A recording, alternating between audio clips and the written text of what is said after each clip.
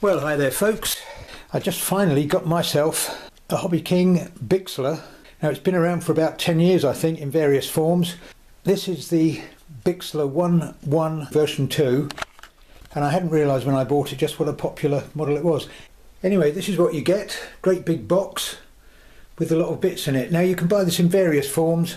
They call this ARF, almost ready to fly. Well, you've certainly got a bit of gluing and putting together to do before you can actually do that. They do another version that is much more assembled.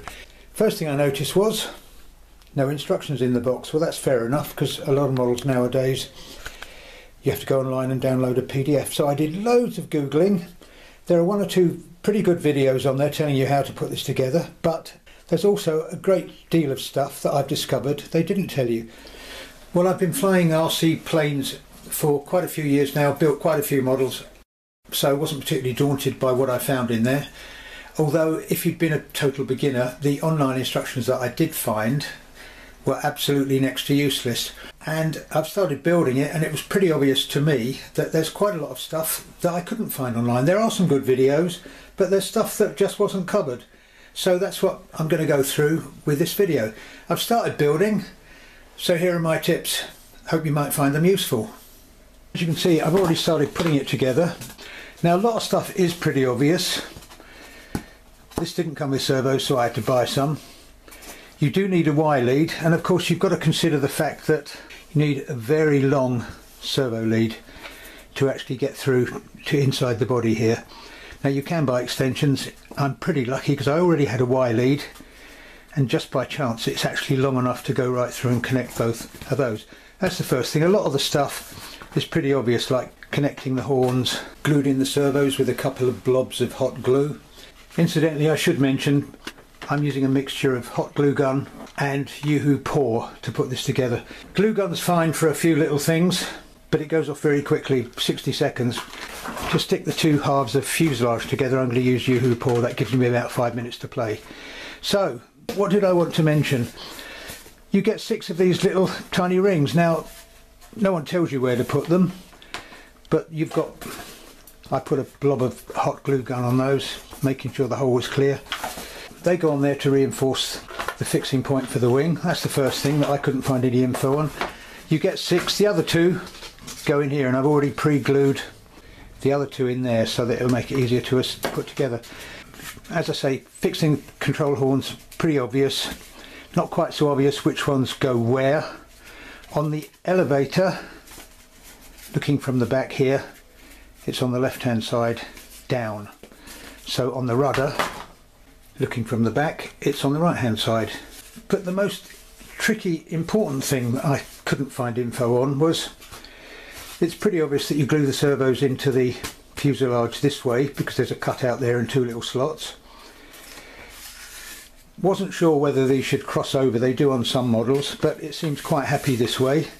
One thing I didn't notice until I'd actually glued this in, fortunately I managed to get, the, get it out afterwards, was these control wires here are actually different lengths.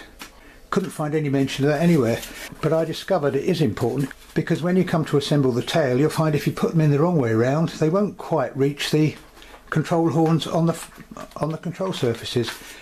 So it's actually important to get these the right way around. Now, as you can see there, the one that goes to the top is going to be rudder, and that is slightly longer than the one that goes to the bottom for the elevator. Now, if you glued it all together, that might be a bit of a pain in the butt because you'd have to start trimming it off and chopping these down a bit, which wouldn't be very easy because you'd have to trim these and rebend the end of the control wires there. Anyway, I think I've got that right now, but that was one thing that I did struggle with and give a lot of thought to. I mentioned you get lots of bits and pieces. Stuff like this is pretty obvious once you glue in the servos. Just a question of hooking these in and so on. But there are other bits in it.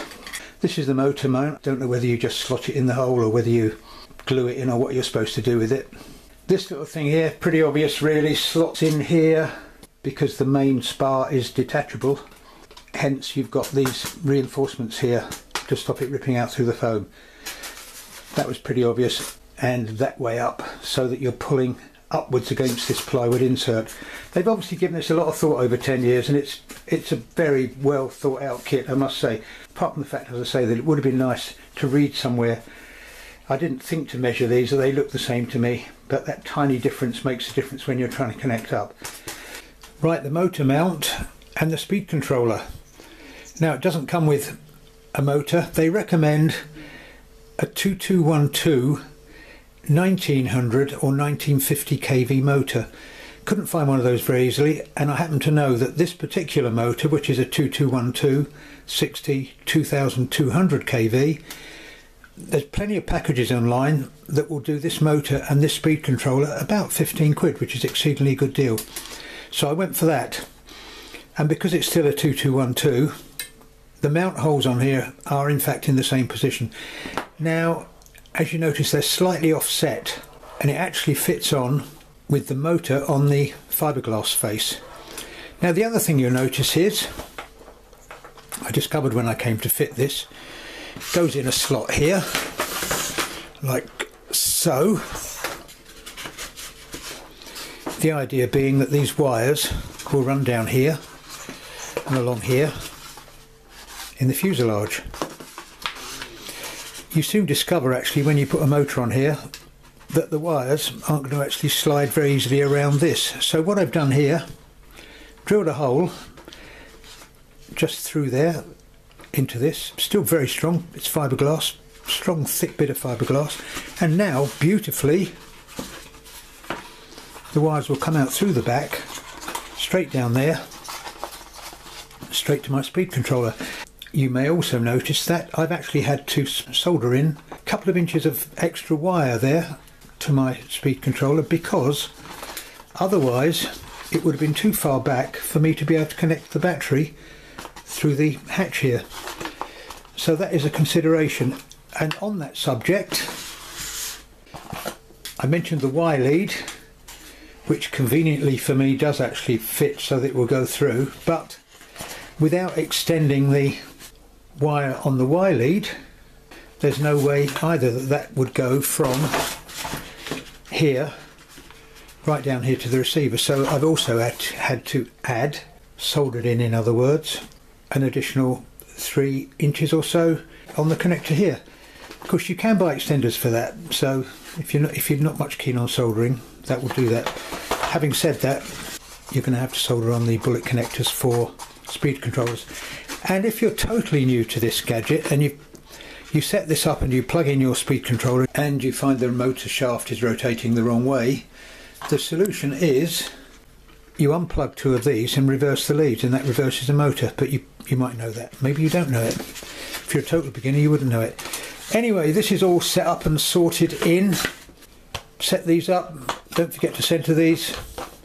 I say I'm not I haven't gone into great detail about that. It's worth checking out Andrew Newton's video but obviously before you connect these and glue them make sure you've centered it and the control arms in the right place that covers that for the minute I'm getting closer to the position where I can glue this together I'd say.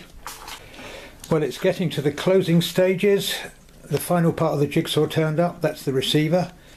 Turned up from Amazon yesterday and it's all hooked up here to make sure it's going to work before I finally glue the thing together. As you can see ailerons are connected and working even the right way. Elevator is connected and working. Rudder is connected and working and the motor mount is half glued in with hot glue. Speed controller's in as well there. So now let's take a closer look at a couple of other things I've done before I glue this together. Right, so what have I done? First thing to mention is I mentioned this little piece of wood here which is designed to slot in here so that you can put bolts through and make the wings removable. Decided I'm going to glue the wings in anyway so I've done away with that. To which end I didn't really need those either. That's one thing. I, managed, I had partially glued it in but I managed to prise it out. Just extra weight if you're not going to use it. What else have I done? I've used scotch crystal tape to fix these inside so there are no loose wires dangling around. I put a bit of velcro there to support that to stop that flopping around. Partially glued in the motor mount. I mentioned that I fed the wires through there. They go very neatly through there. The other more important thing that I've done is when I first unpacked it I thought that these hinges looked a bit fragile. You're just relying on the foam. So I've actually put strong tape along there on both sides so that's never going to come off. I've done that on there and on both sides of the ailerons too. The other thing I've done with the Scotch crystal tape while I've got that out is I've put it on these leading edges which looks very nice and smooth. It's gone on beautifully and we'll just stop it getting little dings when it's landing in, in the scrub and so on. And finally I've got to glue these little magnets in place that hold the hatch and the cockpit. Of course these other things have got to be popped on. I'm not sure whether I'm going to glue that or how I'm going to fit it but I think I'm actually ready now to take that brave step and glue the two halves of the fuselage together. And as I said, I'm going to use UHU Por because it'll at least give me two or three minutes of playtime, whereas hot glue would just be wham, too fast. So, wish me luck. Next time you see this, it should be in one piece, a flyable model. Here we go. Right, well here it is, and what a beautiful looking plane that is. I must say, it's a piece of artwork. Anyway, so how did it go? First thing to say is, even though I used UHU Por, gluing the two halves of the fuselage together was a bit tricky because I started gluing the two halves of the fuselage together from the nose end, but then once I got to the tail, I realised it was about an eighth of an inch out I don't know if you can see it, but it's about an eighth of an inch out here because obviously this stretches a little bit and it's a fairly soft material. So I think one lesson I learned was if ever I'm going to do it again, I would start gluing probably from the centre section, trying to keep an eye on whether the two halves were symmetrical. Not a huge deal really. And while I've got it up this way, a couple of things I've done. Bit of that Scotch crystal tape along here Plus I've also put a bit of reinforcing tape along the bottom of the fuselage here which will act as a skid and obviously give it a bit more strength. But having said that, I've decided as I'm going to use it for FPV that I'm going to fit an undercarriage and that just turned up yesterday. So I may stick a quick picture at the end of the completed job with the undercarriage. What else to say? As far as this bit goes, decided not to glue it. I've actually put a cocktail stick through there, a couple of rubber bands so that I can lift that off easily. That was easy enough. Gluing the wings in is also quite tricky because even with UHU Por, you only maybe get 30 seconds to manoeuvre. Once it's in there, it's in. So they're not quite both in at the same depth, but it's you're talking a couple of millimeters, not critical. But that was basically, that was okay. Everything else was pretty straightforward, I'd say as far as in here goes the receivers there one antenna that way one antenna that way. Not in position as I say because I've got to glue a reinforcing block in for this. I've also put a little bulkhead there because with the 2200 milliamp battery tucked up there balances quite nicely. So I'll show you my FPV bit. I made another little insert here in foam board that will hook in there. They're much the same shape as the cockpit. That hooks in there, little magnet on it too. This is on Velcro, so I can melt one of the quite a few transmitters I've got. Can't peel it off now, otherwise it's going to pull it apart, but that sits there really nicely and I think should do a great job for FPV. Obviously battery connection there. I'm going to give it a separate battery and a 600 milliamp 3S can sit on that but that should work very well. Okay then, well there it is, undercarriage fitted and ready for a maiden. Let's take a closer look. Right, so how do you fit the undercarriage? This is the only instructions you get, which just tell you basically to cut a slot 241 millimeters from the tip of the nose. Just cut a slot with a sharp blade and then glue in the mounting bracket that comes with it. So this actually clips in and out, which is quite useful. What I've done on the inside is, whether you can see it or not, I don't know, I glued a shaped block of polystyrene on the inside there. for reinforcement so it can't whack it too much and tear out that way. Plus there's one behind it, but you can't really see. But I just cut a piece out shaped from a piece of polystyrene board. So that should be strong enough. Fitting the tail wheel is straightforward enough, just a question of cutting a slot. What I did was heat up the end of an old hacksaw blade and just very carefully melt the hole in. That's absolutely perfect. I'm a bit disappointed that it won't actually rotate because on the ground it, it won't seem to steer using rudder when taking off, but that remains to be seen. What else can I say?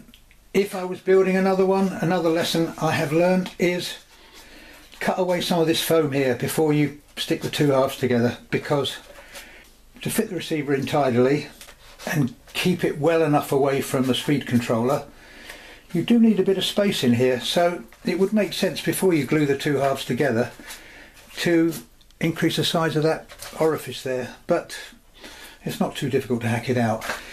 And the receiver here and the speed controller are both held in place by a bit of velcro stick on velcro stuff try to keep a bit of space between the speed controller and the receiver it's always good practice if you can so as I said, I've had to hack away to get that tucked in and also so that I could get these antenna in a nice position here.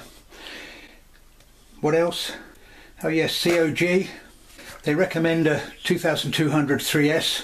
With that tucked up there, it's almost perfect on the line of the reinforcing strut there. It just needs a tiny little bit of lead to give it a nose down attitude but it's not going to take much to actually put that down because you can see it's almost balancing perfectly level in fact it's slightly nose high but that's it next video you see it's going to be the maiden and let's hope it goes okay I feel much happier having an undercarriage because I hate hand launching I like to have both hands on the control when I take off especially and if it's FPV you need both hands on the controls when you take off but that's it for now. Don't forget to give it a thumbs up if you've enjoyed it and maybe even hit subscribe if you want to see the Maiden or some of the other stuff on my channel. Lots of RC plane stuff, plus paragliding, paramotoring, sailing, wildlife, oh, billions of action camera tests too. Thanks for watching, stay safe, hopefully I'll catch you all again soon. And make sure you watch out for the Maiden.